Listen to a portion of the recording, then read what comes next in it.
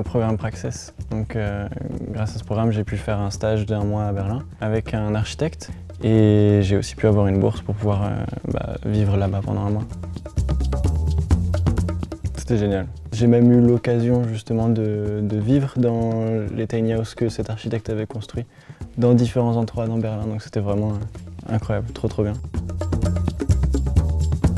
N'hésite pas. Puis même si on a genre des petites notions d'allemand, eux ils ont des petites notions de français. Et au final, on, ça, ça marche quoi, ça passe. J'étais vraiment pas prêt, pas forcément super organisé aussi non plus. Et, euh, et ma sœur m'a dit, mais justement, contacte l'OFAGE, ils sont là pour ça. Je me suis, je m'y suis pris très en retard et euh, ils ont quand même été là pour moi, euh, donc c'était cool.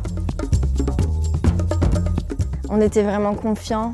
Il partait dans le cadre de ce stage avec l'OFAGE. Il a bénéficié de tout un accompagnement qui l'a vraiment aidé à réaliser ce projet.